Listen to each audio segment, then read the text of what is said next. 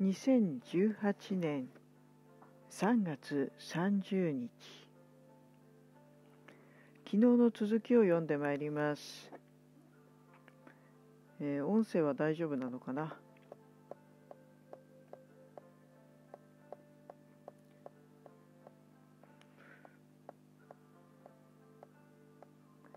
えっ、と今ウィキソースを見ています。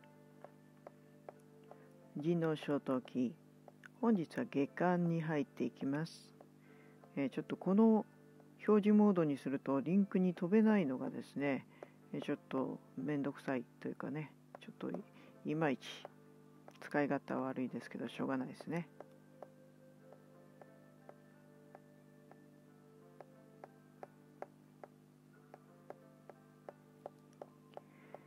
昨日はね結構頑張って読みましたので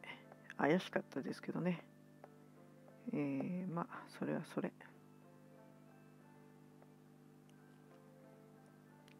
本日は第74代からですね。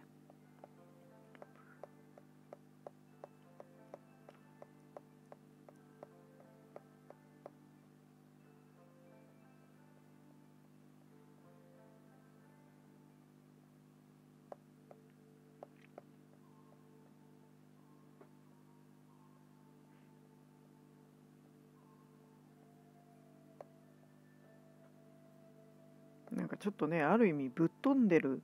歴史書というかですね。えー、これはこれで面白かったんですけどね。あまり細かく検討もしませんし訳文も読んでなくて、えー、だらだらとね本文だけ読んでますけどね。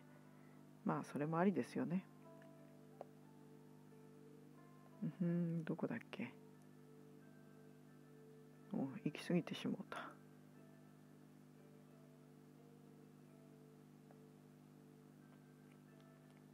はい、えーとね、今、太平記を読んでいるので、まあ、そのつながりでここを読んでおります。はい、畳輪からここです。人道小陶器、下巻。おっと、るからか、こんばんは、お布施ありがとうございます。第74代、第41世、鳥羽院、意味名は宗人、堀川第一の子、御母象皇太后藤原の自子象大乗大臣実末の娘なり日の問いの年即位土の絵根に改元天下を治めたもうこと16年大使に譲りて尊号あり白川、えー、大を知らせたまいしかば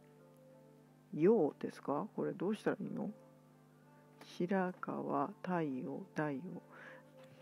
白川大を知らせ、えー、玉石かバーシンインとて諸々の五校にも同じ三車にてありき雪見の五校の日御烏帽子同士に不可靴を召し漁場にて本院の三車の先に増しましける。世に珍かなることなればこぞりて見た見立て祭りき。昔公認の上皇佐賀の院に移らせ玉石日にや御場にて都よりいでさせまして球場の内をも通らせたまえりということのみへはべりしかようの試しにやありけんご用にめでたく。ましましければキラをも好ませたまいけるにや装束の怖く。なり烏帽子の額難度いうこともその頃よりいでにきそうそう。あの装束あのね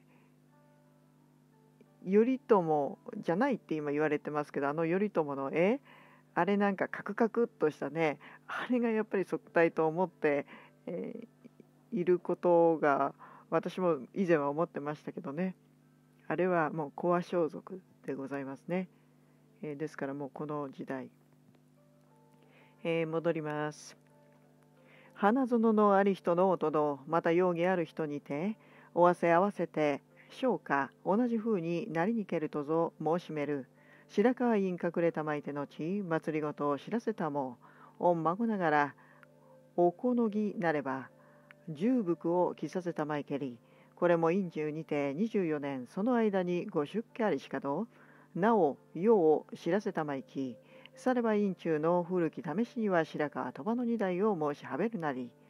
54歳おましましき以上第74代鳥羽院終わる。あのー、このねええー、と何でしたっけ？知らせたまいき知らすという話なんかね。やっぱりあの日本の統治の仕方の一つのこう何て言うんでしょうね言葉の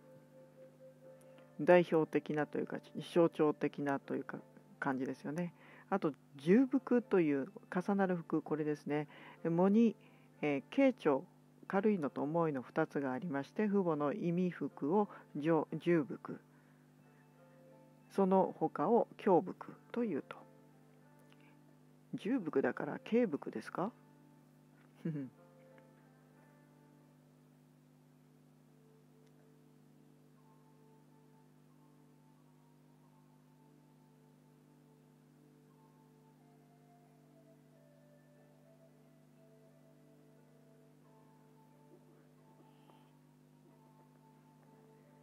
えー、それでは続きいきます。第75代ストクイン、えー、ストクインがやばいやつでしたっけ？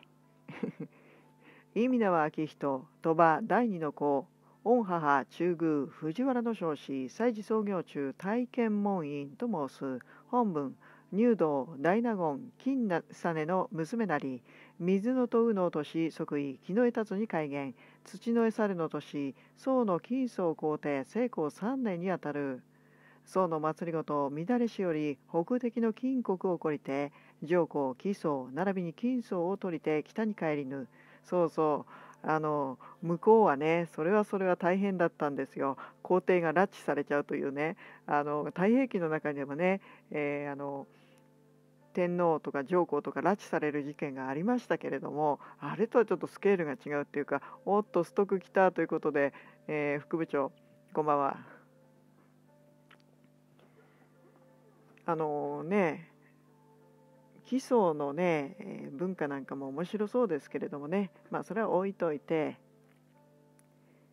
えーとそれはもとい。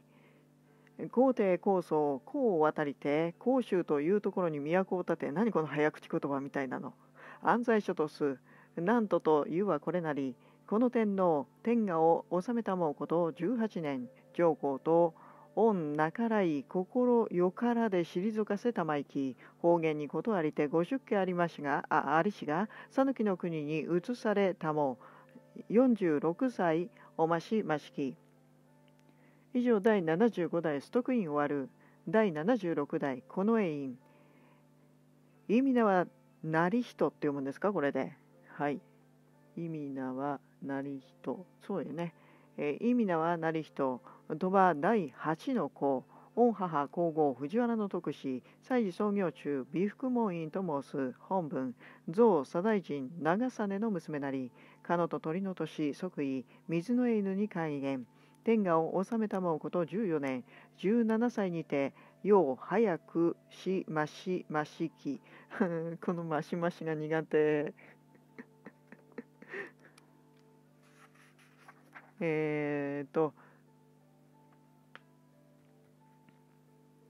以上第76代近衛院終わる、えー、次第77代。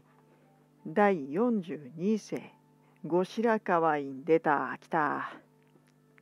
意味田正人鳥羽大師の子須徳同母の恩弟となりこの絵は鳥羽の上皇昭愛の恩子なりしに創世しましましぬ。須徳の恩子重人親王塚瀬多毛べかりしにもとより女が心よからでやみぬ。上皇おぼしめし煩いけれどこの帝立たせたも立体しものうてすぐにいさせたも今この恩末のみこそ携帯したまえばしかるべき天命とぞ覚えはんべる。気の問いの年即位日のエネに改元年号を方言という。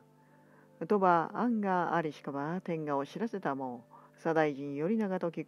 小石は地則院入道関白忠真の次郎なり宝生寺関白忠道の弟この大臣の兄にて和漢の座へ高くて久州疾病にて仕えられきこの弟も関西は他校を聞こえしかの本性足くわしけるとぞ父の愛しにいて横ざまに申し受けられければ関白を聞きながら当時の長者になり内乱の戦時をこうぶる長者の他人に渡ることを摂政関白始まりてはその試しなし。内乱は昔醍醐の御代の始めつ方本院の弟と関家と祭りごとを助けられしとき愛並びてその後ありきと申すめれども申しめれども、えー、本院も関白にはあらずそのためし多合にや兄の弟は本性を穏やかにおわしければ思いも入れぬ様にてぞ過ごされける。この絵の帝を隠れたまいし頃より内乱をやめられたりしに恨みを含み大方天下をわがままに、えー、わ我がままにと計られけるにや崇徳の上皇を申す申し進めて世を乱らる。父の方を安賀の後七日日ばかりやありけん。中高の道かけ、えー、道かけにけるよと見えたり法王も重ねて悟らしめたまいけるにや平清盛源義朝らに召し仰せて代理を守り祀るべきよし直命ありきとぞ。はい、えー、今回は鳥羽法が悪者だ。悪者という言葉が。その一言のインパクトが。いいなその悪者という言い方。あの私のおじがよくねあの、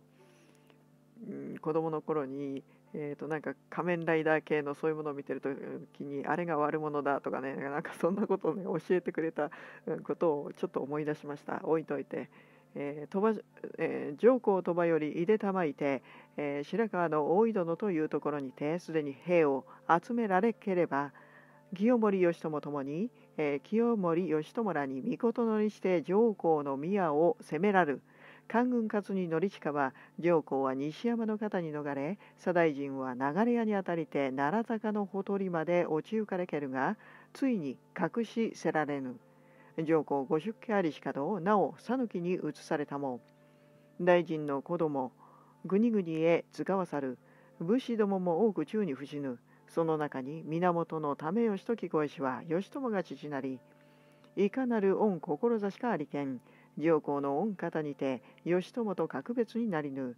世の子供は父に属しけるにこそ戦敗れて為義も出家したりしよう。義朝預かりて忠せしこそ試しなきことに半べれ。佐賀の御代に奈良坂の戦いありしのちは都に氷河ということをなかりしにこれより乱れ染めぬるも自運の下りぬる姿とど覚え半べる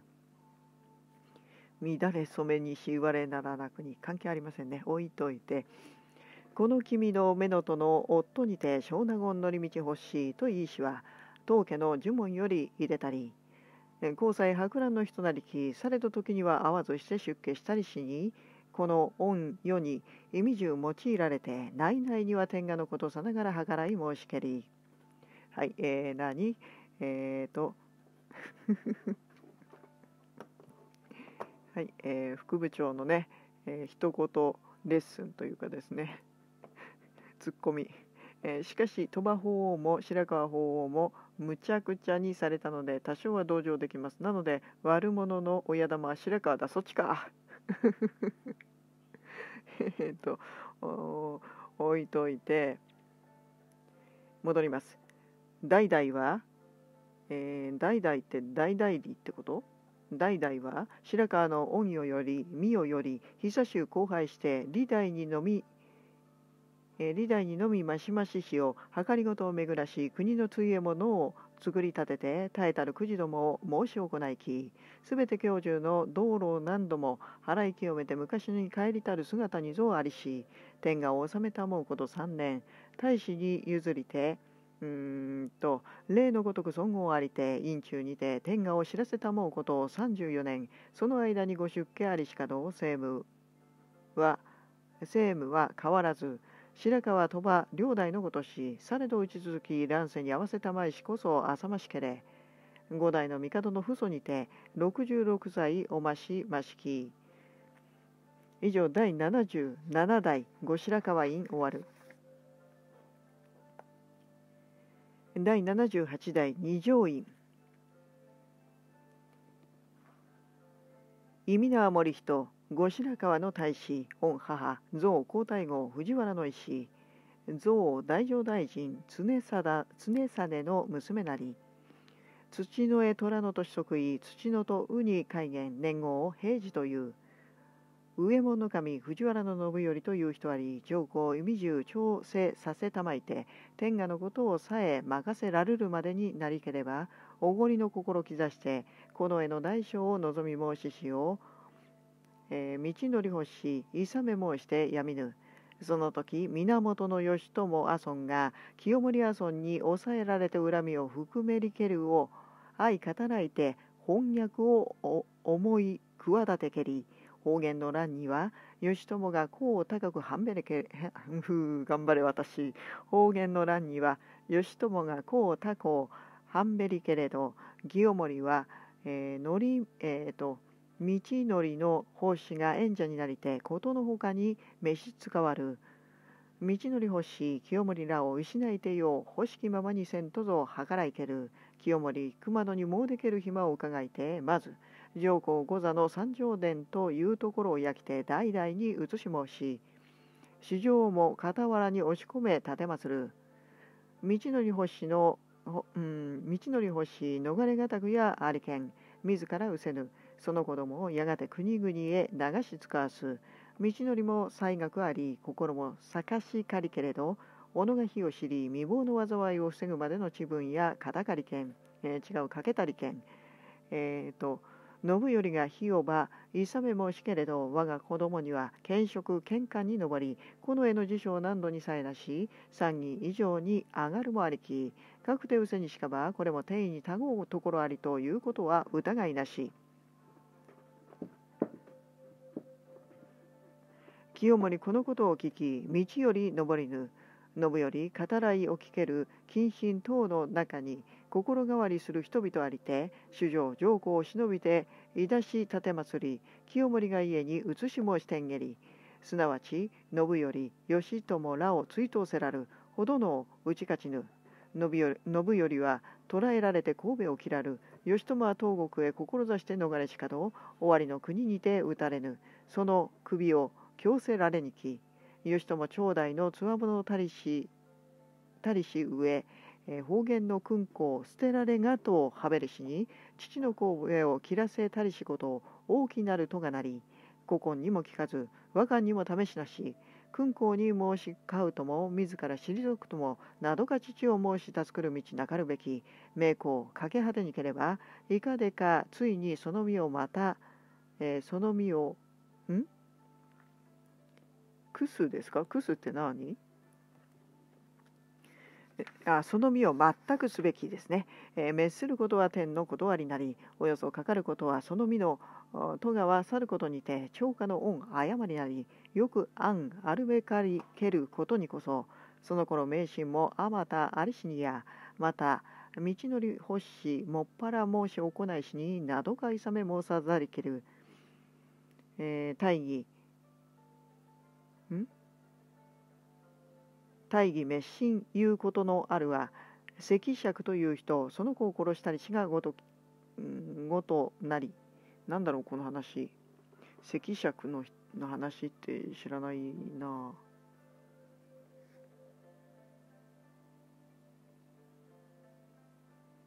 うんとあちょっと注釈もないっすね、えー、このままいきましょう。父として府中の子を殺すは断りなり父府中なりとも子として殺せという通りなし孟子に例えをとって言えるに春の天使たりとき、えー、うん、頑張れ私春の天使たりしときその父こそ人を殺すことあらんを時の代理なりし紅葉を捉えたらば春はいかがしたもうべきと言いけるを春は位を捨てて父を置いてさらましとあり体験の教えなれば中高の道現れて面白くハンベリーそうですね。この話は結構あの何回か古典を読むと出てくる話ですね。えーと続き。方言平時よりこの方天が乱れて舞踊を盛りに大い軽くなりぬ。今の太平の世に帰らざるは名工の破れ染めしによれることとぞ見えたる。かくてしばし静まれりしに静まれりしになんかおかしくない？静まあ静まれりしに主上上皇女が亜州して主上の母方のおじ大納言常宗祭事創業中後に召し返されて大臣大将までなりき本文。御目のとの子滅頭これ方ら上皇の御意に背きければ清盛阿尊に仰せて召し捕らえられ廃所に使わさる。これより清盛天下の剣を欲しきままにしてほどのお大乗大臣に上がりその子大臣大将になり天さえ兄弟僧の大将にて並べりき祭事創業中この帝の御世のことならぬもありついでに印のす本文。天下の諸国は半ば過ぐるまで家領となし官位は多く一門家木に塞げたり王家の剣さらに泣きがごとくになりぬ。この天皇天下を治めた思うこと7年。23歳おましましき。長かったですね。以上第78代二条院終わる。第79代六条院。えっとねもうだらだらとねあのお見きいただきながらやらせていただきます。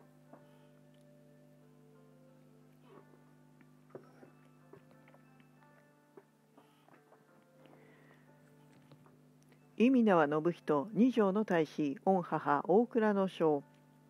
壱岐の金森が娘なり。祭事創業中。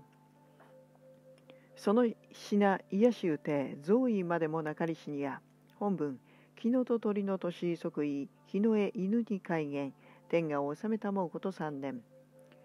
上皇世を知らせたまいしが二条の帝の恩ことにより心よからぬ恩ことなりしゆえにやいつしか上国のことありきご元服などものをて13歳にてよう早くしましましき。以上第79代六条院終わる。第80代第43世高倉院。意味名は則人後白河第五の恩公御母皇后平重子祭事創業中謙春門院と申す本文。象左大臣時信の娘なり土のエネの年即位土のと牛に改元上皇天下を知らせたもうこと元のごとし清盛剣をもっぱらにせしことはことさらにこの御代のことなりその娘徳氏受代して女ごとす。すなわち立候ありき。末方揚々諸々に反乱の聞こえあり清盛一家非分の技天意に背きけるにこそ着しない大臣重盛は心ばえさかさかしくて父の悪行なども勇めとどめけるさえよう早く死ぬ。いよいよおごりを極め剣を欲しきままにす。時の執権にて菩提院の関白元房の音とおわせしもん？これはなからいよろしからぬことありて太宰の権の外に移して入るせらる。はいえーとあなんか飛んできた。ちょっと見逃しちゃった。ありがとうございます。どなたか分かりませんが。はいえーと高倉来た。来ましたね。安徳と言葉の父。安徳様。安徳様はねあの漫画界ではねあのやっぱり諸星ネタで安徳様。歴史に詳しくない人でも知っている。置いといて。えっ、ー、とどこや。妙音院の諸長の音ども胸中をいださる。その他に積みせられる人を大借りき十三味源の頼政といいし者院の恩子持ち人の王とて元服ばかり下前しかど親王の線などのうて傍らなる宮おわせしを進め申して国々にある源氏の武士武士どもえっ、ー、と武士等にあふれて武士等に相触れて平時を失わんと計りけり後藤現れて巫女も失われたまいぬ。頼政も滅びぬ。かかれとそれそれより乱れ染めてけり。乱れ染めて なんか乱れ染めしわれならなくに関係ない、えー、吉友村がこう頼朝祭事創業中先の右兵への助地五位下平治の頃六位の九郎戸たりしが信頼ことを起こしけるとき任官すとぞ本文平治の乱に資材を申しなだむる人ありて伊豆の国に入るせられて多くの年を送りしが持ち人の王の密書を承り院よりも忍びて応接かわす道ありければ東国を進めて義兵を起こしぬ。清盛いよいよ悪行のみなしければ主情深く嘆かせたもにわかに非のことありしもよういとわせましましけるゆえとぞ天下を治めたもうこと12年。世の中の御祈りにや平家の取り分きあがめ申す神なりければ秋の厳島に何参らせたまいける。この帝御心映えもめでためでたく高校の御志深かりき還元の、えーと、方も優れておわしましけり尊号ありてほどなくよう早くしたも21歳おましましき。えめっちゃ若いですね、えー、以上第70、えー、違う違う第80代、えー、高倉院終わる。あひーちゃんこんばんは。難しいっていうかあのでもね あのいやなんかこの画面に映しながら読んでるとあなんだあのそんなに難しくないじゃんみたいな感じに多分思えると思いますよ。結構私ゆっくり読んでると思いますし。はい、えー、続きいきます。第81代安徳天皇。安徳様来たよ。えーと、意味名は時人。高倉第一の子。御母中御母中宮。平の徳氏祭事創業中。建礼門院と申す。本文。大乗大臣。清盛の娘なり。賀のエネの年即位加野と牛に改元法王なお世を知らせたもん兵士はいよいよおごりをなし諸国はすでに乱れぬ。都をさえ移すべしとて摂政。うん角国福原とて清盛住むところのありしに行幸せさせ申しける。えー、法王上皇も同じ移し奉る。人の恨み多く聞こえければ二夜返し奉る。幾ほどの清盛隠れて次男森宗その後を継ぎぬ世の乱れをも顧みず内大臣に人数天聖父にも兄にも及ばざりけるにや、えー、異謀もいつしか衰え東国の軍すでに怖くなりて兵士の軍諸々にて利を失いけるとぞ。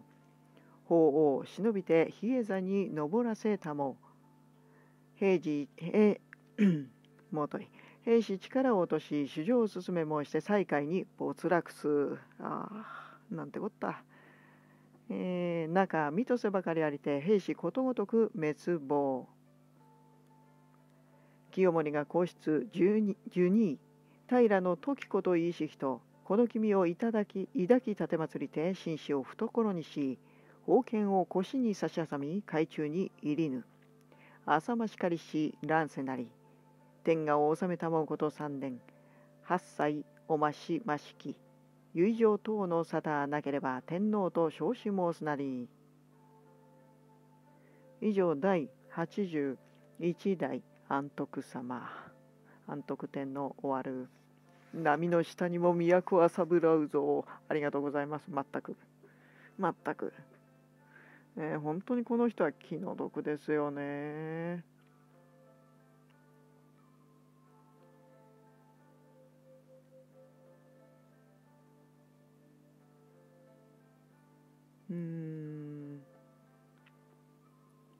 まあいいか先に行きましょう、えー、第82代第44世後鳥羽院さあ上級の乱来るぞ。意味名は高平高倉大師の子。御母この人でだから安徳様のご兄弟ってことなんですね。御母七条の院藤原職士祭事創業中先代の母義多くは皇宮ならぬは増皇なり陰号ありしは皆まず立皇の後の定めなりこの市長院立皇のをして陰号の始めなりただしまず寿皇の御事なりあり本文入道首里の大部信孝のん？信孝の娘なり仙台、えー、再会に臨行ありしかど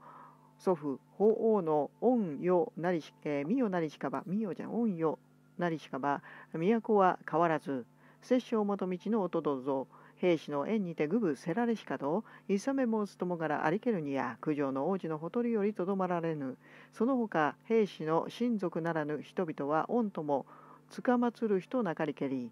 観光あるべきよし院前ありけれど兵士勝因申さず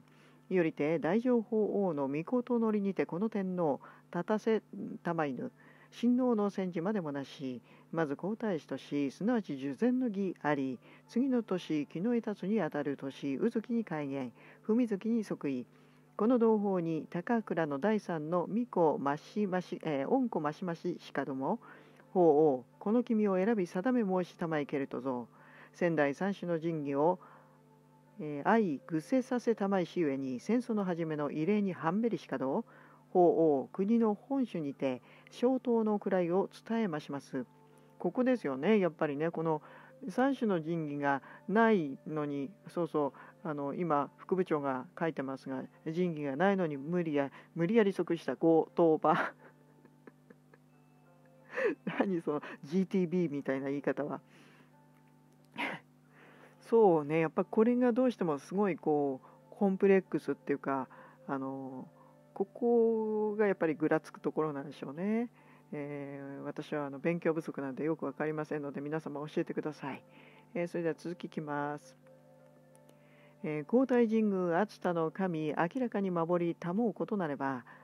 天意筒が増しまさず兵士滅びてのち内しどころ紳士は帰りいらせたも宝剣はついに海に沈みて見えずこれですねこれがね太平記の時にね出てくるんですよ。その頃その頃おいは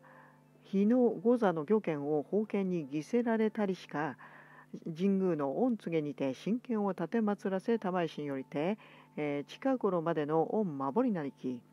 三種の神器のことは諸々に申し半べりしかどもまず内しどころは神教なり八田の鏡と申す。正体は皇太神宮に祝い立てまつる内し所に増しますは崇神天皇の御代に生かえられたりし御鏡なり。村上の御時天徳年中に火事に遭いたも。それまでは延期かけましまさず。御須作の御時長久年中に重ねて火ありしに怪人の中より光をささせたまいけるを収めてあがめ立てまつられける。されど正体は筒がのうては万代の宗病に増します。宝剣も正体は雨の村雲の剣、祭事創業中、後には草薙という本文と申すは熱田の神宮に祝い立てまつる再会に沈みしは数人の御代に同じゅう作り作り変えられし剣なり失せぬことは末世の印にやと恨めしけれど熱田の神新たなる恩子となり昔白木の国より道行という法師来たりて盗み立て祭りしかど人編を表して我が国をいでたまわずあったあったそんな次元、えー、かの領主は正体昔に変わりましまさず猶予の天皇の陶器御守りとして国土のあまねき光となりたまえり宇瀬西方権はもとより除災のこととぞ申し判めるべき。紳士は八坂にの勾玉と申す。神代より今に変わらずヨヨの、えーと、御身を魚神御身ですよね。御身を離れぬ御守りなれば海中より浮かびいで賜ること断りなり。三種の御ことはよく心得立てまつるべきなり。なめてもの知らぬ類は上古の心境は天徳上級の災いに遭い。草薙の宝剣は海に沈みにけりと申し伝うることにサブラウニや返す返す日がごとなり。この国は三種の正体を持ちて眼目とし福伝とするなれば日月の天を巡らんほどは一つもかけたまはかけたまをまじきなり。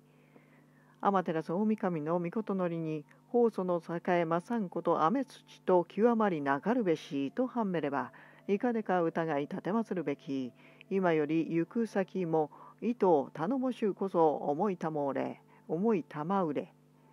はい、えー、何？副部長。人を思うし人も恨めし味気なくよう思うゆえに物思う身は。それって何？あの言葉ですか？なんだっけ？百人一首よねそれ。百人一首の中に出てくる天皇の歌シリーズとかでなんかやるのも楽しそうですね。あのねたまにね百人一首はねあの朗読家庭でもねあの読んでたり演じてたりする方いらっしゃいますよね。さあ続きいきます。兵士まだ再会にありしほど源義仲というものをまず京都に入り兵意をもって世の中のことを抑え行いける征夷将軍に人数この間は昔坂の上の田村丸まではえー、遠い征伐のために任せられきその後正門が乱れに右兵衛の神忠憤忠憤阿孫、えー、正当将軍を兼ねて窃盗を玉石よりこの方久しゅう耐えて任ぜられず義仲ぞ初めてなりにける、えー、百人一首の強盗は GTB、えー、99番。あ99番なんですね。ありがとうございます、えー、またなんか百人一首でも遊びましょうかね。はい。あ百人一首のあのアプリとかありますからね、えー、置いといて。このねあの清将軍とかこの辺りもね、うん、なんかあのコントかよって思うような任命の仕方をしてますよね。あの称号の与え方とかね、えー、置いといてあまりなること多くて上皇御憤りのゆえにやあまりなること、あまりなること、あまりなること多くて、上皇御憤りのゆえにや、謹慎の中に草を起こし、退治せんとせしに、ことならずしてなかなか、浅ましきことなんいできにし、東国の頼朝、弟則頼、義経らを差しのぼせしかば、義仲はやがて滅びぬ。さて、それより西国へ向かいて、兵将は平らげしなり、天命極まりぬれば、虚活も滅びやすし、人民の安からぬことは時の災難なれば神も力も及ばぜ賜ぬにや各帝兵士滅亡してしかば天が元のごとく君の御ままになるべきかと覚えしに頼朝君公まことに試しなかりければ自らも剣を欲しきままにす。君もまた打ち負かせられにければ王家の剣はいよいよ衰えにき諸国に守護を起きて国主の意を抑えしかばリ務ということ名ばかりになりぬ。あらゆる荘園合法に持統を干せしかば本所は亡きがごとくになれるき頼朝は地声の芸先の右兵衛の助なりしか、えー、義仲追悼の将に追っ返して将 C の下に女子兵士追悼の将にまた追っ返十二位に女す研究の初めに初めて京登りしてやがて一度に権の大納言に人数また右近の大将を検す。頼朝しきりに自死申しけれど栄慮によりて長所ありとぞほどの辞退して元の鎌倉の太刀に難下りしその後征夷大将軍に拝任す。それそれより天下のこと東方のままになりにき兵士の乱れになんとの東大寺興福寺焼け西を東大寺をは春城という章に進めてた進め立てければ公家にも委任せられ頼朝も不幸を随記してほどの最高数供養の儀古き跡を訪ねて行われけるありがたきことにや頼朝も重ねて教場し、えー、教場しげり都登りなんだろう、えー、勝は決縁のため勝は警護のためなりきすべて天下を治めたもうこと15年ありしかば大使に譲りて尊号礼のごとし院中にてまた24年知らせたまいしが上級に断りてご出家沖の国にて隠れたまいぬ61歳おましましき。以上第82代 GTB ごとば院終わる。第83代第45世土帝院。意味名はため人後鳥羽の大使。御娘上名門院源の有子。有子。置いといて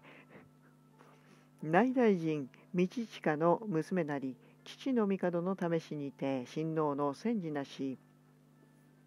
立体師の儀ばかりにてすなわち戦争あり土の馬の年即位土のと羊に改元天下を治めたもうこと12年大抵に譲りて尊号令のごとしこの帝まさしき昇着にて御心映えも正しゅう聞こえたまいしに上皇昭愛に移されましけるにやほどの上国あり立体師までもあらぬ様になりにき上級の乱に時の至らぬことを知らせたまいければにやさまざまいさめましけれどもこと破れにしかば玉石ともに焦がれて阿波の国にて隠れさせたもう37歳おましましき。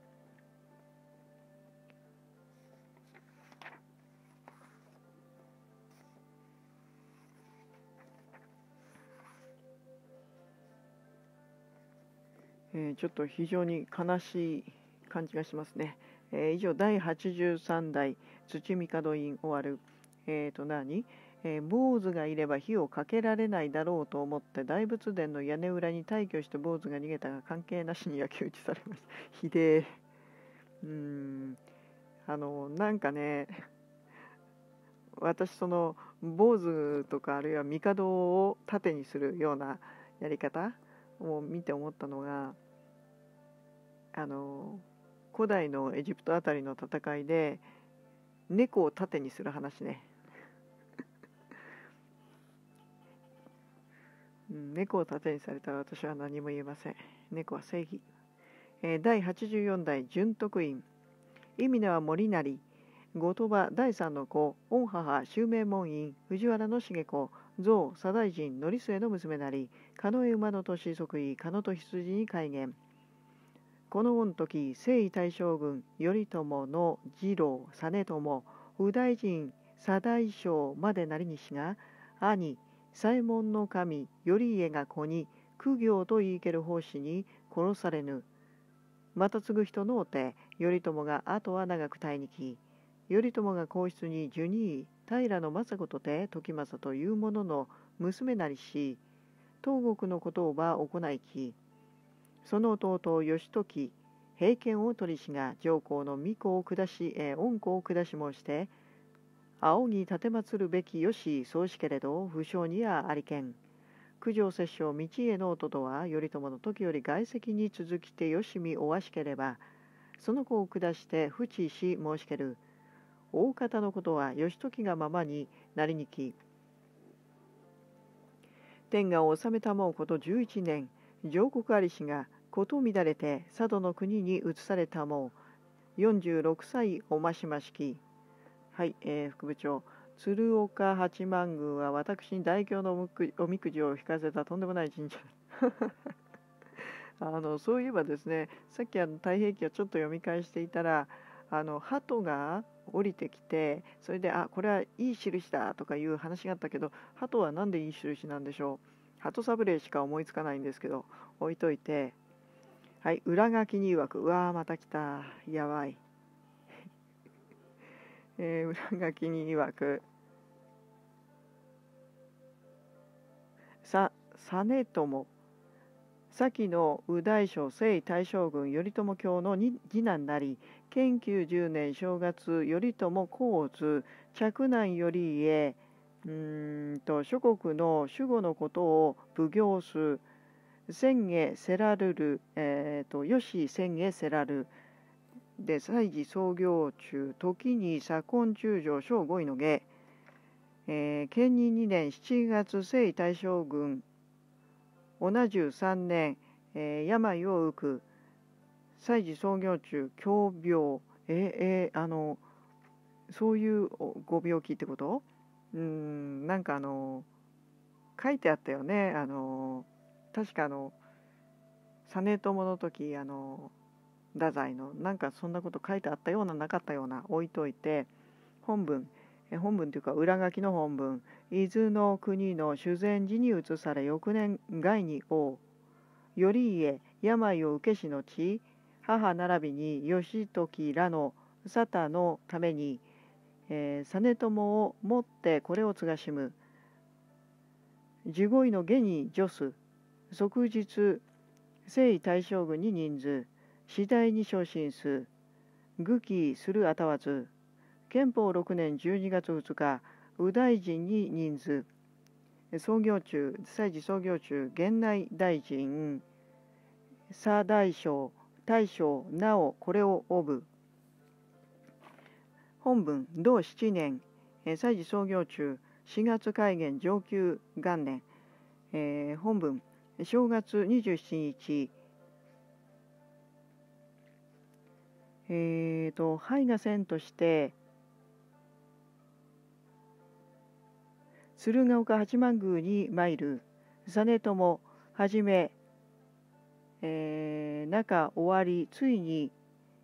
教場せず都登りせずですか？その煩いあるゆえなりうんぬん。よって三宮をもって胚芽に義するか。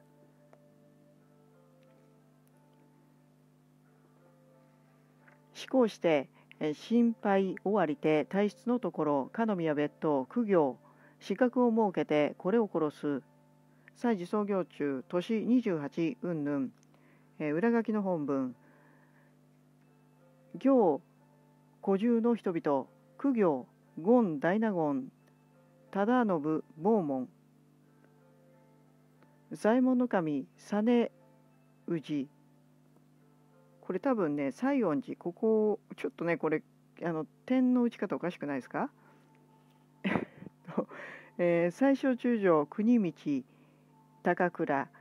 平三味。三森池行部教宗長な何は天井人うーんと文章博士中明の阿孫。えっ、ー、とこれがえっ、ー、とねこれはねあのよこう中期だと思うんですね。同じ、えー、殺さるうんぬん文書えっ、ー、とちょっとねこれおかしいな書き方が本来どうなってるべきなのかな。え、ー、と馬の権の神吉持の阿孫稲葉の少々高常。伊予の少々実種宝器の前治諸高。右兵衛右兵衛の付頼常。地下先駆け、えー、右京の権の大夫義時。杉の大夫、正義甲斐の馬之助宗康武蔵の神泰時筑後の前治頼時駿河の様之助則利えーと、クロードの大夫重綱唐のクロード、えー、唐のクランドの大夫有俊長井遠江の前治近広相模の神時房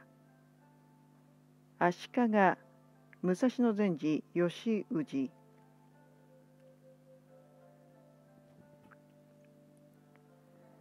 えーと丹波クランドの大夫忠国。先の馬之助幸光宝器の前治これ何て読むんですかね。包む時って書いて何て読むんだろう。なななんとか時、えー、駿河の前治末時信濃のクランド大夫雪国相模の前治常貞美作のクランド大夫えっ、ー、とこれも金地下でいいのかな？唐の河のえー、唐の高等の頼高兵の高等の時森随人不将の旗の、えー、これは金峰。万のなんていうの？番番長の下野の厚秀でいいのかな、えー、この絵の旗。近衛の旗の君氏同金村。播磨の貞文。中富の地下地下金刀ですか、えー、下野の為光同じゅ為氏。随表十人。武田五郎信光鏡次郎長清式部の大夫川越次郎、えー、白の城之助影森。泉次郎左衛門の城頼貞長井八郎、えー、諸影三浦小太郎兵衛の城朝、えー、友村。加藤の大夫半眼、えー、元貞沖野次郎左衛門の城元行えっ、ー、と以上でいいですかね。以上第84代準徳院終わる。あひーちゃんセンターで漢文古文で失敗したことを思い出します。えー、何それ？でもそれはさ多分さひーちゃんがダメだったってことは他のみんなもダメだったんじゃないの？そこはもう捨てるやつ捨てどころだったやつじゃないんですか。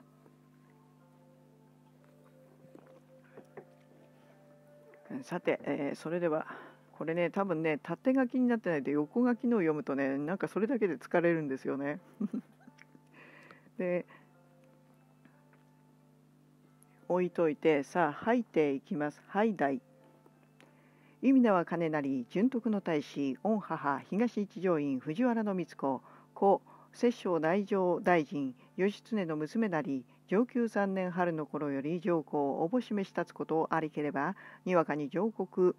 えー、下も純徳御身を絡めて合戦のことをも一つ見心に制させたまわん御計りごとにや新種に上位ありしかの即位登壇までものうて軍破れしかば母方の叔父摂政、えー、道家の弟の苦情の,、えー、苦情の帝へ逃れさせたも三樹の人気をば官員の代理に捨て置かれにき上位の後七十七か日の間しばらく仁義を電球しかども、えー、伝えたまいしかども棺には具合立てまつらず飯豊の、えー、天皇の試しになぞらえ申すべきにこそあこのあの飯豊の天皇っていうのはあの即位をあのしてないと一応こうピンチヒッター的に、えーと、弟だかお兄ちゃんだかがねあの位を譲りっこしてるうちになんか行方不明かなんかになっちゃったりして、えー、それでこの人がですねあのお姉ちゃんがねしばらくちょっと代理みたいな感じでやってた時期があったような気がいたします。はい。えっとでね、えー、まあこのね結局この人はだから女性で天皇になったわけではなくて水子ちゃんがやっぱり、えー、女帝の第1号ですよっていうふうにこれには書いてありましたねこの上巻の部分にね。えー、コボアプリの頭脳はすごいな。アプリはね、日々進化していますから。本当か。えー、続きいきます。えー、元服などものうて17歳にて隠れまします。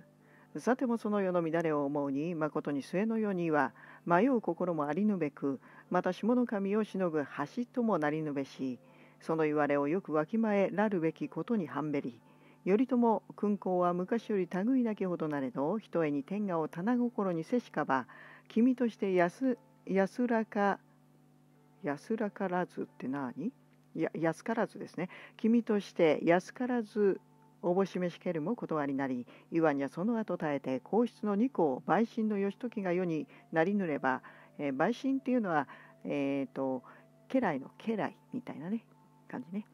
えーかの後を削りて御心のままにせらぬべしと言うも一応言いなきにあらずしかれど白川鳥羽の御代の頃より、えーと、聖堂の古き姿ようよう衰え後白河の御時氷河起こりて関心よう乱る。天下の民ほとんど途端に落ちにき頼朝一匹を奮いてその乱れを平らげたり王室は古きに帰るまでなりしかど九重の地理をも地理も収まり万民の方も休まりぬ。上下等安し東より西よりその徳に伏せしかば実朝亡くなりても背くものありとは聞こえずこれに勝るほどの特性能していかねたやすく覆さるべきたとえまた失われぬべくとも、えー、民安かるまじくは上天よりも組したまわじ次に王者の戦と一派とがあるを投じて絆をば、えー、傷なきをば滅ぼさず頼朝交換に上り守護の職を賜るこれ皆法王の直裁なり。私に盗めりとは定めがたし皇室その後を計らい義時久衆彼が剣を取りて人望に背かざりしかば下は下にはいまだ傷ありと言うべからず。一応の言わればかりにて追悼せられんな。神の御とがとや申すべき。謀反を起こしたる朝敵の利を得たるには肥料せられがたしががれば時の至らず天の許さぬことは疑いなし。ただ下の神を告するは極めたる非道なり。ついには名どか効果に祀らざるべき。まず誠の特性を行われ弔意を立てかを告するばかりの道ありてその神のこととぞ覚えはんべる。その上のこととぞ覚えはんべる。かつは世の知覧の姿をよく鑑,、えー、鏡知らせたまいて私の御心なくんば御心なくんば感化を動かさるるか弓矢を収めらるるか天の命に任せ人の望みに従わせたもうべかりしことにやついにしては携帯の道も小路に帰りご子孫の世に一等の将軍を開かれぬればご本意の末達せぬにはあらざれど一旦も沈ませたまえしこそは口をしく半べれ。あれ？えー、ああいいのか。第85代五堀川院。意味名はん？これって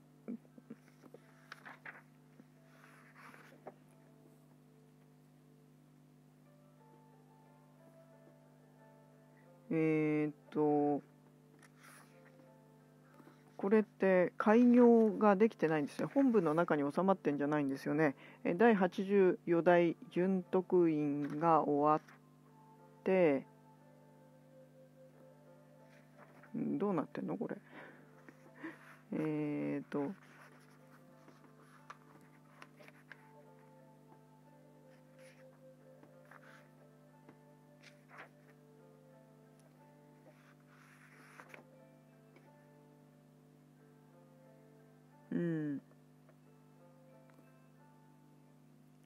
口吉、うん、ここまでが84代だと思うんですね、えー、84代準徳院でしたっけ？ですよね、えー、次85代いきます。おちちいててえー、何4歳で即位78日で辞めさせられたひどいよねなんかもうむちゃくちゃですね、えー、宇野宗介か畑勉かあなんかねえっ、ー、とね現実のねえーと、政治の話をするとね荒れそうだからちょっとその辺はね ちょっとパスです今回は。はい、えー、それでは続きまいります。第85代郷堀川院。意味名はゆた人ゆた人って読むのかこれわかんないな。日本森貞親王祭事創業中後の高倉院と申す。本文第三の子。御母北白川院。藤原の陳氏。入道中納言元家の娘なり。入道親王は高倉第三の御子。御子ですね。御子。後鳥羽同胞の御兄。後白河の御選びに漏れ玉石御子となり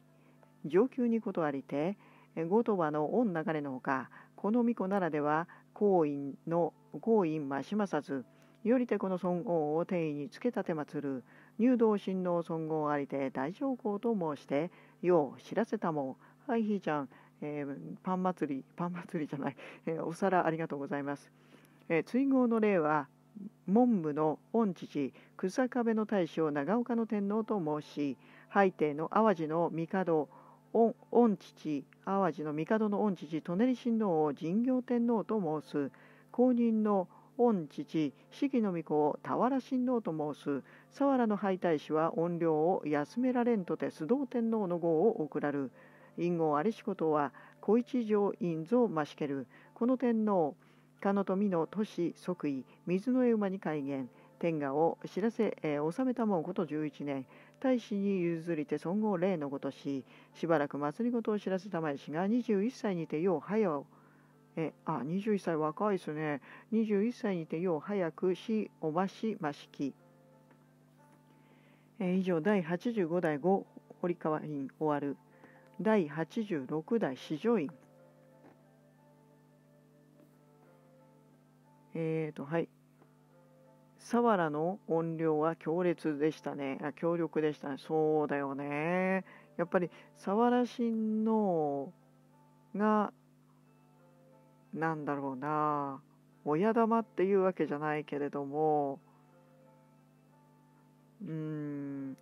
怨霊にやっぱりこう都の人たち特に皇族の人たちが悩まされるようになるところってやっぱ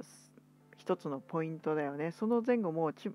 まあもちろんあるんだけれども特にやっぱ強力ですよね、えー、さていきます。第86代四条院。意味名は光人。五堀川の大使。御母総壁門院。藤原の孫子。摂政左大臣。道家の娘なり。水の枝つの年得意水の富に改元例のごとし人とせばかりありて上皇隠れたまいしかばえっ、ー、と何て読むんだっけこれ母方のえー、なんとかって読むんだよね。ちょっといいや。外祖にて道家の弟王室の剣を取りて昔の失勢のごとくにぞありし、東国に仰ぎし、征夷大将軍頼常もこの大臣の因子になれば、文武一つにて県政をわしけるとぞ。天下を治めたもうこと12年。えー、10年にわかによう早くしたもう。12歳おましましき。いや12歳ちょっと待て、えー、以上第86代史上院終わる。第87代。第46世五佐賀院来たぞ。五佐賀院来ましたよ。意味名は国人土帝院。第二の恩子御母象皇太后。源の美智子。象左大臣道宗の娘内大臣道近の孫娘なり上級の乱れあれし時2歳にならせたまいけり道近の大臣の四男四男大納言道方は父の院にも御坊神象皇后にも御ゆかりなりしかば収容,、えー、収容し申して各隠し置き立て祭りき18の御年にや大納言さえようはようせしかば糸とぶらいになりたまいてご祖母これ何とかって読むんでしょうね。上名門院に難移ろいましましける22歳の御年春正月10日四条院にわかにあんが行為もなし蓮子の巫女もましまさず純徳院沿いまだ佐渡におわしましけるがああそうなんだ。えーと、恩子たちも浜田都にとどまりたまいし入道摂政道家の弟かの御方の外家におわせしかばこの御流れを天意につけたて祭り元のままによう知らんと思われけるにやその趣を仰せ、えー、仰せ使わしけれど鎌倉の義時がこう安時計らい申してこの君を据えたて祭りぬ。誠に天命なり勝利なり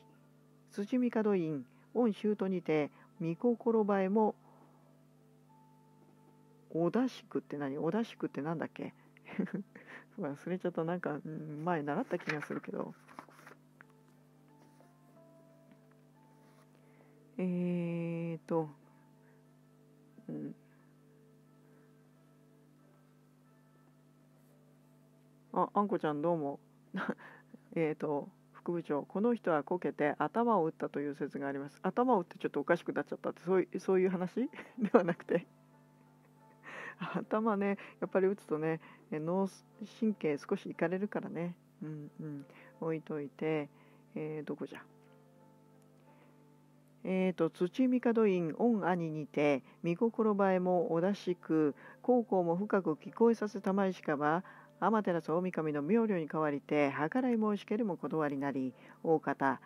安時心正しゅう祭りごとを素直にして人を育む者におごらず公家の恩ことを思うし本樹の煩いをとどめしかば風の前に散りのうして雨が下、えー、天の下雨の下すなわち静まりき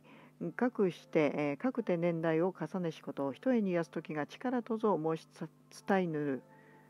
陪審として久しゅ剣を取ることは和漢領長に洗礼なしその衆たりし頼朝すら二世をばすぎず義時いかなる家宝にか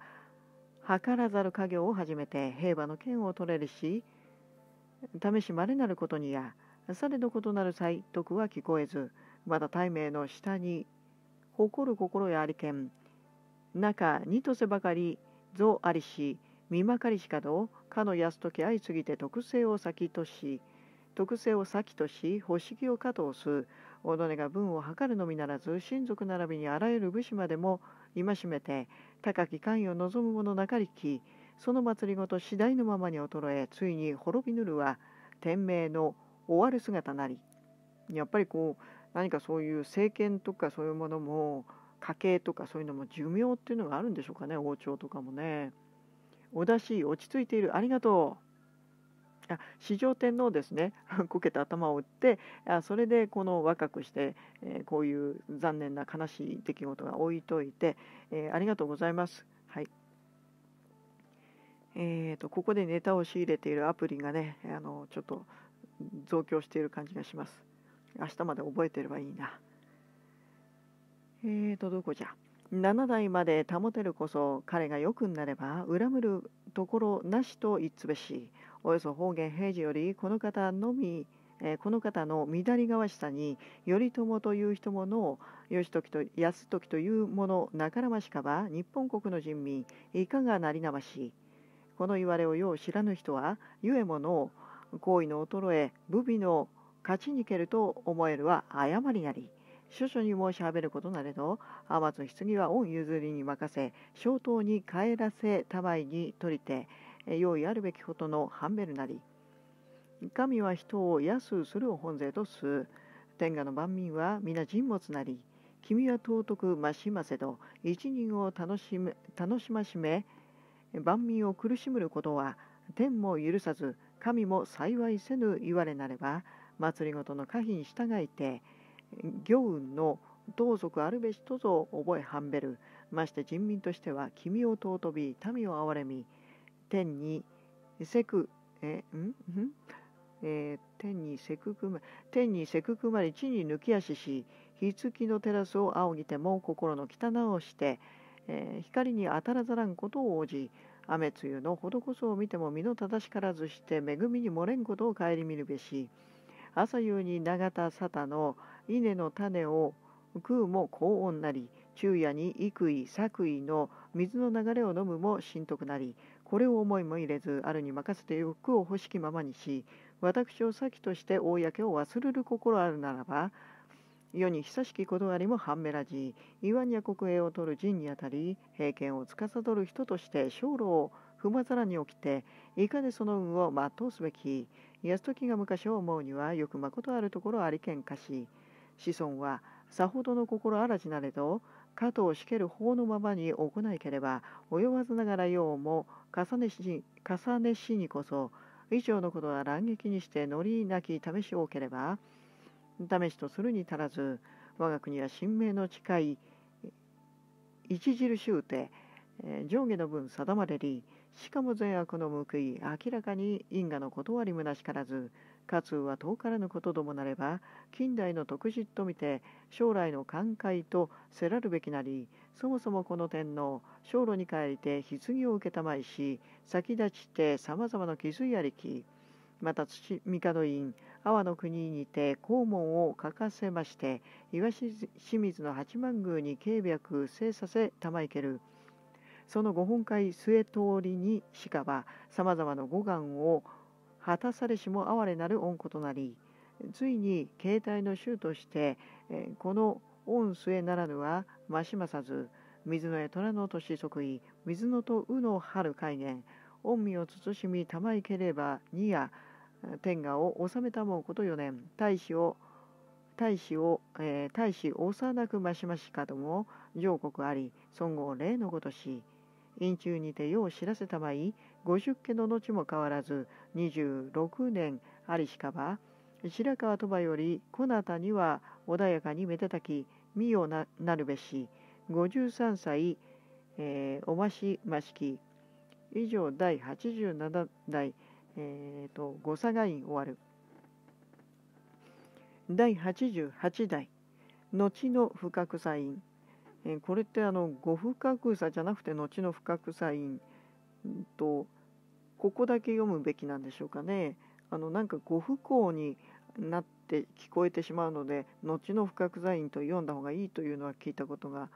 あるような気がいたします。えー、続き意味名は久しと御佐が第二の子御母大宮院藤原の吉氏大乗大臣実内の娘なり日の閻魔の年4歳,、えー、4歳にて司祭、うん、4歳にて即位日野と羊に改元天下を治めたもうこと13年。記載原の調子にてましましましまししかども御病おわしましければ同母の御音と常人親王を大使に立てて上国尊号霊のごとし伏見御代にぞしばらく祭りごとを知らせたまいしが、えーと、ご出家ありて政務をば主上に譲り申させたも58歳おましましき。以上第88代後の深草院終わる。第89代第47世亀山院。意味名は常人後の深草院同母の御弟なり土のと羊の年即位狩野猿に改元。この天皇を携帯とおぼし飯を着てけるにや記載原に巫女生まれたまいしを、えー、御佐賀とえー、と御佐賀取り養いまして、えー、いつしか大使に立てたまいぬ。後の深草の祭事創業中その時神院と申しき本文巫女も先立ちて生まれたまいしかども引き引き越されましにき祭事創業中大使は五宇に増します。御年2歳後の深草の巫女に、えー、御子に深伏見御年4歳になりたまいける。本文。誤差が隠れさせたまいてのち。兄弟の恩淡いに争わせたもうことありければ関東より母義大宮院に尋ね申しけるに。千院のご相違は当義に増しますよしを仰せ使わされければこと定まりて近中にて政務制させたもう天下を治めたもうこと15年大使に譲りて尊号礼のごとし院中にも13年までよう知らせたもうこと改まりしあ改まりにしのちご出家57歳おましましき。以上、えー、亀山院、えー、第89代亀山院終わる第90代第48世五宇大院。奇妙院なぜ最近なぜ今回カタカナで書いてるのなんかカタカナで 書かれるとすごいシュールな感じがする寿命院なんかなんかかわい。い意味名はヨヒと亀山の大使御母皇后藤原の騎士祭事創業中後に京極院と申す本文左大臣実夫の娘なり木の絵犬の年即位木の問い海元日の絵根の年諸越の宋の要定特有2年にあたる。今年北敵の州猛虎起こりて元国とい氏が宋の国を滅ぼす。本務、えー、祭事創業中金国起こりにし 金国起こりにしより宋は東南の甲州に移りて150年になれり猛虎起こりてまず金国を合わせ後に甲を渡りて宋を攻めしが今年ついに滅ぼされる本文。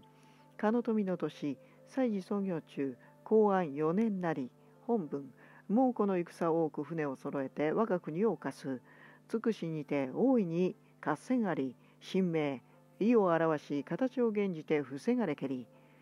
大風にわかに起こりて数十万隻の、えー、そうそう。数十万艘の属船皆氷と破滅しぬ。末世といえども神明の意徳不可視になり制約の変わらざることを、えー、受けいとか読むんでしょうか。変わらざることこれにて押し量るべしこの天皇天下を治めたまうこと13年。思いのほかに逃れましまして14年ありき後、えー、五二条の帝立ちたまいしかはよう知らせたもう。遊戯門院隠れましてお嘆きのあまりには出家せさせたも、えー、先の大僧正全城を恩師として宇田遠入の例により当時にて勘定せさせたも珍かに尊きことに半べりきその日は五醍醐の帝中塚さんの親王とて恩王家の座につかせまします。ただいまの心地ぞしはべる五二条を隠れさせたまいしのち糸戸よう糸わせたも佐賀の奥大覚寺というところに公認官兵の昔の音跡を訪ねて御寺などあまた立て手ぞ行わせたまいし今もねあの大覚寺はあの大覚寺派っていうのありますしねえっ、ー、と華道でね有名ですよね。で犬の年っていうのが何かお祭りがあるみたいなのであれ？今年？じゃないの？すごい多分あの何て言うのかな？何があるって言ったのかな？あそうだ写経だ写経。写経の寺なので、えー、なんかね、うん、大きなお祭りをしてるかなと思います。えっ、ー、と続き。えー、どこだ？その後五醍醐の帝位につきましましつきましまししかばまたしばらく世を知らせたまいて見とせばかりありて譲りましましき。大方この君は中古よりこなたにはありがたき恩こととぞ申しはんべりき。文学の方も御三条の後にはかほどの恩さえ聞こえさせたまわざりしにや。官兵衛の魚介には帝王の御学問は軍書治療などになどにて足りぬべし増文につきて祭りごとを妨げたもうなど見えたるにやされど演技天略観光、えー、遠久の御、えー、帝皆交際博覧に書道をも知らせたまい聖堂も明らかにましまししかば先の二代はことふりぬ次ては観光遠久をぞ剣王。とも申すめる。和漢の故事を知らせたまわねば制度も明らかならず行為も軽くなる。定まれる断りなり。少々に行春右の徳を褒めるには古に従い考う。という。不越が陰の構想を、えー、構想を教えたるには、えー、こと古を死とせずして世に長きことは越が聞かざるところなりとあり等に九死領とて近中の患者にて内見を取る極めたる感じになりその盗塁に教えけるは人種に書を見せ立て祭るな儚き遊びたわぶれをして御心を乱るべし書を見てこの道を知りたまわば我が友柄は失せぬべしと言いける。今もありぬべきことにや官兵衛の軍将治療を指しての指してのたまいける。うん。部ばきに似たり。ただしこの書は当体操時の名神議長して選ばせられたりき。えこれってなんだっけ？えっ、と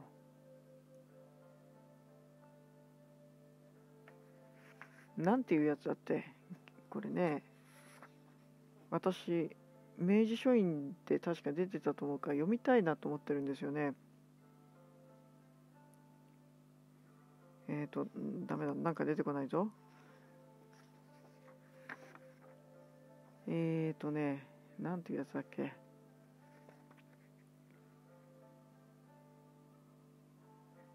上眼治療じゃなくてなんだっけ？なんかそういうやつ。えーと続きいきます。ご実家の中にあらゆる警史書士までの名文を載せたりあやっぱ読みたいですね。前景の書三子等王像常の人は学ぶる。この書に載せたる書士難度は見る人見る者少なしほとほと直だに知らぬ。ごめんなさい。知らぬ類もありまして万機を知らせたまわんにこれまで学ばせたもうことよしよしなかるべきにや本系統を習わせましましそまではあるべからずすでに増文とてあれば慶史の語学問の上にこの書をご覧じて、えー、書士等の雑文までノートもこの、えー、ノートもの御心なり官兵衛はことに広く学ばせ、まえー、たまいければにや集約の深き道をも地下なりという地下なりという博士に博士に受けさせたまいき演技の恩子と僧にあたわず監視ふさし奉られきその後も機能言、えー、前将校唐の明治有鹿は文道の問答の盛りなりしことも上皇に及べりきこの魚介につきて天使の音学問さまでの音もと申す人の判べる浅ましきことなり何事も文の上にてよく了見あるべきをや。この君は在位にても祭りごとを知らせたまわずまた院にて14年環居し玉入りしかは稽古に明らかに書道を知らせたもなるべしご出家の後も年頃に行わせましましき上皇の出家せさせたもうことは聖武貢献平勢清和宇田朱雀遠入火山御三条白川鳥羽須徳五白川後鳥羽五佐賀深草亀山に増します。第五一条は御病主をなりてぞせさせたまいしかようにあわた聞こえさせたまいしかど戒律を具足し四十隠ることなく密相を極めて大アジャリをさせ、えー、ささ大アジャリをさえせさせたまいしことを意図ありがたき恩ことなりこの音声に一等の運を開かれる宇徳のよくんとぞ思いたもうる現行の末木の根の水無月に58歳にて隠れましましき。ふうちょっと疲れたぞ。長かった。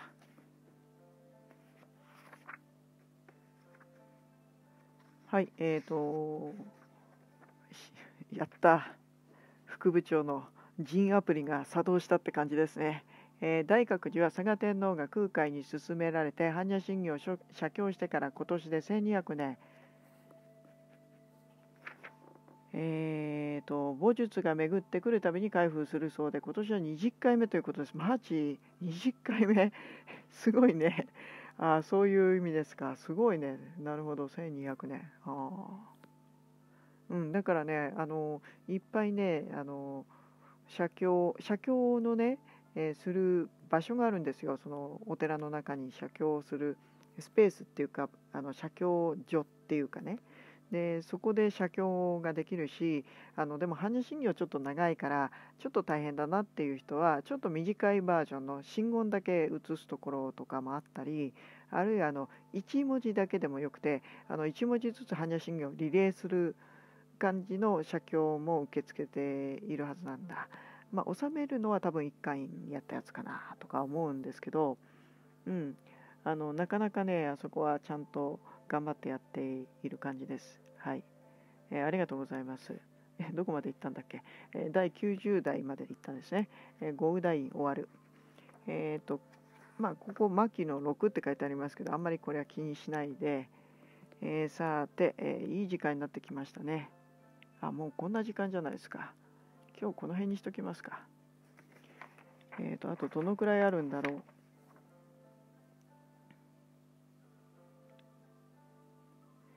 う。五醍醐の手前まで行きますか。いけるかな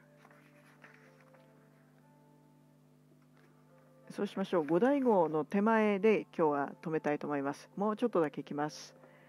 第91代伏見院意味名は広人五深草の言えないよ後の深草の第一の子御母元気門院藤原の靖子左大臣実夫の娘なり五佐賀の帝携帯おば亀山とおぼしめし定めければ深草の御流いかがと覚えしを亀山定順の儀をおぼしめしけるにやこの君をご有志にして東宮に据えたまいぬその後御心もゆかず足ざまなることさえいできて戦争ありき。日野と伊の年即位。土の絵根に改元。東宮にさえこの天皇の御子、えー、恩子板前き天下を治めたもうこと11年。大使に譲りてその後例のことし院中にて世を知らせたまいしがほどの時移りにしかど中六とせ無とせばかりありてまた世を知りたまいき。関東の友柄も亀山の清流昇流を承ることは尻はべりしかど、うん、近頃となりてよう疑わしく思いければにや両校の恩流れを変わるがある末門さんと相計らいけん相計らいけりとなん。後に出家生させたも50歳おましましき。以上第91代伏見終わる。さあ来ましたよ。えー、何？人アプリ作動、えー、内閣寺は拝観時間は9時から5時。拝観料は500円です。駐車場はすぐ満車になると書いてあります。ありがとうございます。えーと、観光案内まで、えーとですね、大海寺行く場合はですね京都から駅前からあのバスも出てます。バスで行くと50分ぐらい小1時間かかっちゃうので電車で行った方が私はねいいと思いますけどなんかね京都駅からだとねえっ、ー、とあの33番とかそういうホームなんだよね。ホームに行くだけで結構大変なんだけどそこからねのんびり電車に揺られていくと結構いい感じに着きますね。うん、33番線があるっていうところがやっぱり、えー、ねあのうちの最寄り駅なんか単線だからね。えっとねまあそれは置いといて、うん、第92代五伏見院。意味縄種人伏見第一の子御母永福門院藤原の少子入道大乗大臣実金の娘なり。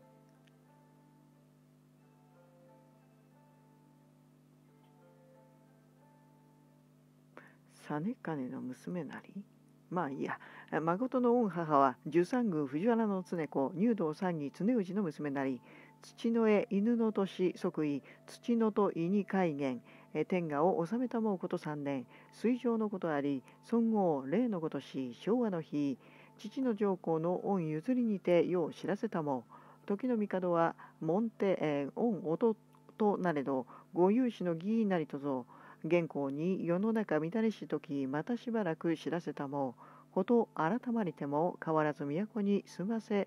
ましましかば。ふふ。ましまししかば出家せさせたまいて四十九歳にて隠れさせましましき。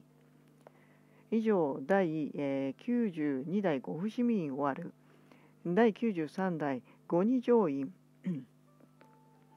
意味名は国春五宇田第二の子御母聖火門院源の元子内大臣友森の娘なりかのと牛の年即位水の絵虎に改元。天下を治めたもうこと6年ありてよう早くしたもう24歳おましましき。以上第93代五二条院終わる。ずいぶん若いですね。第94代の天皇。意味名は富人伏見第三の子御母謙信門院藤原の末子左大臣実夫の娘なり土の絵猿の年即位海元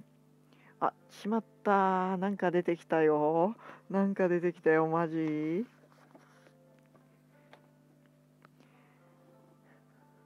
裏書きに言う天使の戦争は禅上の年をもって仙台に食しえー、年を超えて即位する。これ、これなり、しかるに我が町当年即位翌年改元、すでに、えー、と、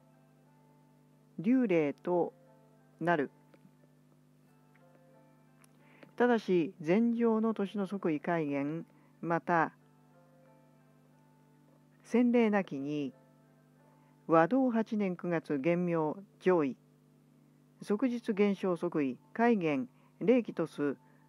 養老8年2月減少前位。即日正務即位海元して仁義とす。天平官報元年4月正務前位。同年7月貢献即位海元天平商法とす神護慶運4年8月聖徳法図同年10月公認即位11月改元して法規とす。10月改元えー、あちゃうちゃうちゃう。徳治3年8月五二条法図同年同年月新種即位10月改元して演技とすまた年を超え改元せぬ例えー、天平法事2年淡路の淡路邸即位改元せず任那3年宇田邸即位改元せず年を隔てて官兵衛と官兵衛と改む。延久4年白河邸即位改元せず年を隔て、えー、改めて商法となすとなり即位以前に戒厳の例。えーと寿永2年8月後鳥羽受前同じ3年4月戒厳して元暦となす7月即位。ぜひ常の礼なり本文。父の上皇をよう知らせたまいしがご出家の後は御譲りにて御兄の上皇を知らせまします。法王隠れたまいても両阿の儀中力上皇御有志の義とと礼なきことなり天下を治めたもんこと11年にて逃れたも尊号礼のごとし世の中改まりて出家せさせたまいき。以上第94代。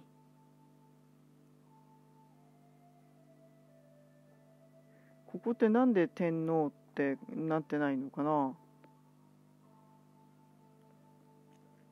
花園院とか書いてなかったよね。そうね。第94代の天皇ってしか書いてないね。なんでかな？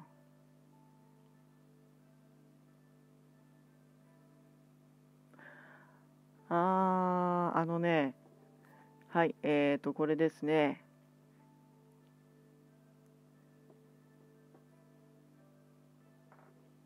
電報によっては第94代花園院あるいは萩原院となっている。また本文として入れないまでも傍注したものや主書きしたものもある。これらはいずれも後の人の記入によるもので定本の形が正しい。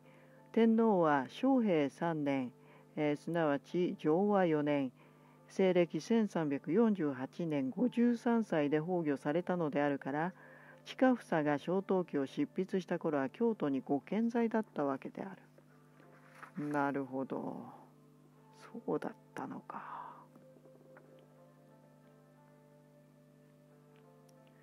はいえー、アプリはバラエティにログがバラエティに飛んでますね。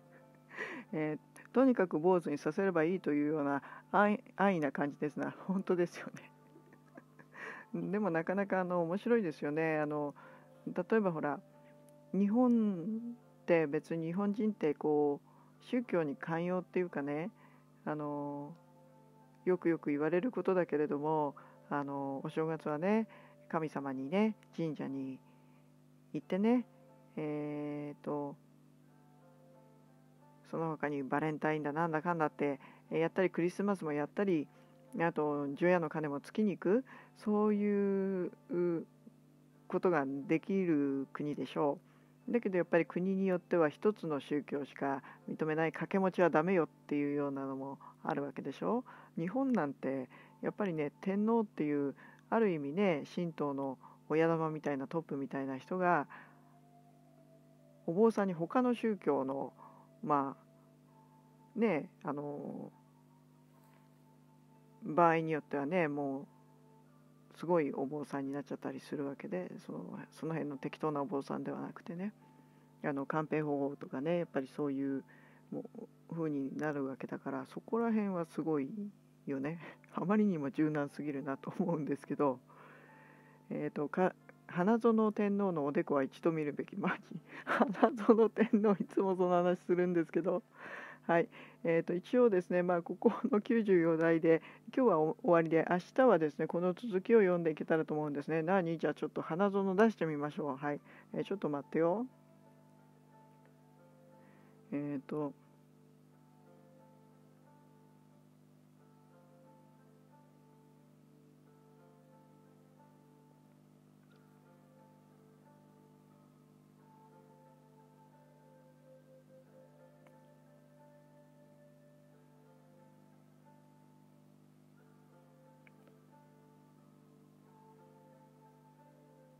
これっすか？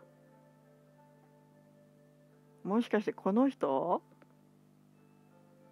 これ？このおでこっていうことですか？あこれはちょっとどうしちゃったんでしょう。っていうよりあの頭があのへこんでるっていうか上のところが。なんかあのお坊さんにするとねお坊さんのあのなんだっけこうなんとか頭とかいうのあるじゃないなんだっけ 誰の頭だっけ特徴的な人いるじゃないですか。なんかねあのやっぱりほらこう赤ちゃんの時は頭がこう結構柔らかいからあの綺麗な形にするために、えー、お母さんがね結構手をかけてあげるか、うん、それともほったらかしにされるかこうよくね絶壁頭とかね ありますけどね。どうなんですかね。あのちなみに私は結構綺麗と言われています。あの剃った剃るとねやっぱ綺麗って言われるのでもう坊主になるための頭だなみたいな感じですよ、うん、ここれはすごいですね。はい。うん、これはすごいと思います。えー、というわけで、えー、良い時間になりましたので、えー、まあ、今日はここまでにしたいと思います。それではおやすみなさい。良い夢を。オンバザラシャンティウン。また明日。ありがとうございました。ごきげんよう。